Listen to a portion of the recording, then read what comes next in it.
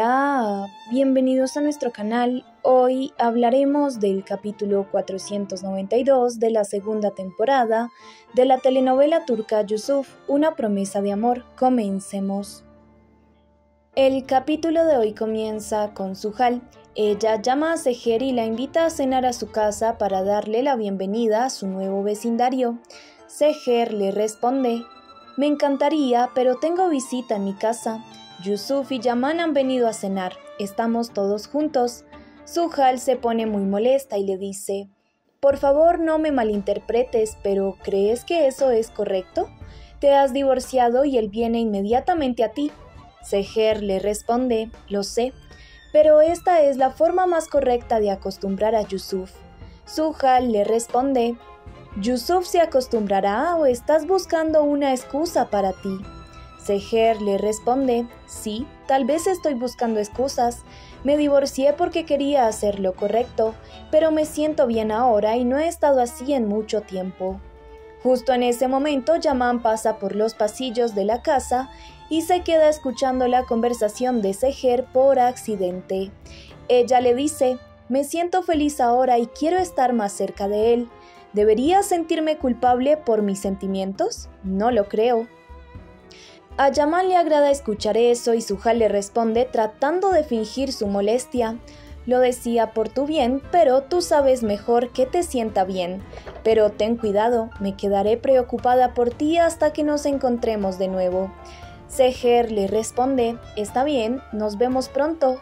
Suhal corta la llamada y se dice llena de ira, si esto continúa destruirá todo, no puedo permitirlo. Por otra parte, a Duyu le dan de alta y Ali se encarga de cuidarla en casa con ayuda de Semra y Yasemin. Ali le dice, luego de darle su medicamento, me hace muy feliz el hecho de que ya no somos solo compañeros de trabajo, al menos cuando estemos solos. Duyu se siente apenada y le responde, ¿no estás cansado? Será mejor que te vayas a descansar, yo estaré bien. Ali le responde, la única salida, la única cura para mí eres tú. Además estoy gravemente enfermo de ti. De repente la sultana entra a la habitación y les dice, Wow, wow, ¿de qué estás hablando, hijo? Te deseo una rápida recuperación. Ali trata de fingir que realmente está enfermo y le dice, Me molesta un poco la garganta. Duiyu y yo estamos hablando de eso. La sultana sonríe y finge no haber escuchado nada. Ella le desea pronta recuperación a Duiyu. Al mismo tiempo, Yasemin entra a la cocina donde está Semra con la intención de acercarse a ella y le pregunta, ¿quieres que te ayude? Semra la ignora y Yasemin trata de ayudarla de todos modos. Semra le pide que se detenga y dice que la deje sola. Ella sola se encargará de la dieta de Duiyu. Yasemin se pone triste por su persistente rechazo y Semra le dice, Ojalá también te hubiera entristecido la forma en que nos engañaste. Ahora vete por favor, no quiero verte. En ese momento la sultana entra a la cocina y al escuchar a Semra le pregunta, ¿Mi querida niña hizo algo mal? Semra le responde, te diré qué fue lo que hizo, ya no puedo contener este veneno dentro. Yasemin solo guarda silencio y se va para su habitación muy afligida. Entre tanto, Seher pone la mesa y Yusuf se va a lavar las manos muy contento de estar en casa de su tía. Yaman se acerca a Seher y le pregunta, ¿cómo te sientes? teniendo presente su conversación con Nazli. Seher le responde, muy bien, dijiste que era el principio, me preguntaba si era cierto o no, pero ahora yo también lo siento y lo creo. Yaman sonríe y le alegra mucho saber eso. Minutos después, Yusuf le dice a Seher, tu comida estaba deliciosa, tía. Me encanta la comida que preparas. Yaman les dice, a mí me pasa lo mismo. Tu tía es la mejor cocinera del mundo. Seher sonríe y Yusuf le pregunta, ¿siempre cocinarás para nosotros, verdad, tía? Seher le responde, si comes cada uno de mis platos de esta manera, siempre cocinaré para ti. Yaman le responde, ni siquiera nos dimos cuenta de que había pasado tiempo, ya es hora de dormir, pequeño, toma tus cosas para irnos. Seher se entristece ya que no quiere que se vayan y Yusuf le responde, claro que no tío, ha llegado el momento de un cuento de hadas. Yusuf saca un libro de su maleta y le dice a Seher, por favor tía, léeme esto, amo mucho este libro de cuentos. Yaman le responde, tu tía te lo podrá leer mañana, debemos irnos, ya está muy cansada. Seher le responde muy entusiasmada, no, no estoy cansada. Por supuesto que te leeré un libro, mi pequeño, y también podemos dormir juntos si tú quieres, y si tu tío lo permite. Yaman le responde, por supuesto. Yusuf les dice, estaré encantado de dormir contigo, tía. Seher lee el cuento de hadas y todos los disfrutan. Luego de un momento Seher se dice, es bueno tenerlos aquí, y todos pasan la noche en su casa muy gusto de estar juntos nuevamente.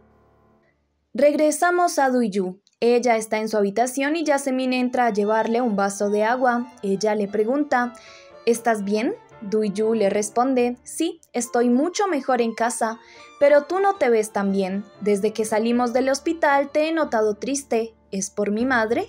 A veces ella se enoja y sabe comportarse agresivamente. No te lo tomes a pecho. Yasemin solo guarda silencio y Duyu le da un fuerte abrazo mientras le dice, No me gusta verte triste, lo sabes, ¿verdad? Justo en ese momento, Sembra entra a la habitación y se disgusta al ver a Yasemin abrazando a su hermana, ya que por su culpa estuvo a punto de morir. Sembra le pregunta, ¿qué estás haciendo? Levántate. Duiyu le pregunta muy confundida, ¿qué haces mamá? Sembra le responde, tienes una herida de operación, debes cuidarte, por eso digo esto. Yasemin les dice tratando de ocultar su tristeza, tengo cosas que hacer en mi habitación, mejor me retiraré. A Duyu le extraña la actitud de su madre y le dice, sé que estás cansada y has pasado por momentos difíciles, pero ¿por qué deberías descargar tu ira con Yasemin? Sembra le responde, está bien, ya olvídalo. Sembra se va para la cocina y Duyu se queda muy confundida. Minutos después, Duyu escucha a su madre discutiendo con Yasemin hasta que ella se va de la casa. Duyu baja rápidamente a la sala y le pregunta a su madre, ¿qué está pasando? ¿Yasemin se fue? Escuché la puerta. Sembra quiere evitar que Duyu se entere de la verdad y le miente diciéndole que Yasemin se molestó porque le llamé la atención por estar hablando con sus viejos amigos. Cuando le dije que no podía salir, se enojó y se fue. Duiyu le responde muy disgustada. Justo cuando ella se acostumbra a nosotras, ¿te vuelves a enfadar con ella? No puedo permitirlo, iré a buscarla. Al mismo tiempo, Yasemin está caminando por las calles muy devastada y se dice, mi mamá ya no me soporta. Por mi culpa mi hermana estuvo a punto de morir. Ella jamás me perdonará, mi madre tiene la razón. Yasemin cruza la calle y de repente se tropieza. Ella cae al piso y está a punto de ser atropellada, pero afortunadamente Duyu llega y la ayuda a levantarse rápidamente.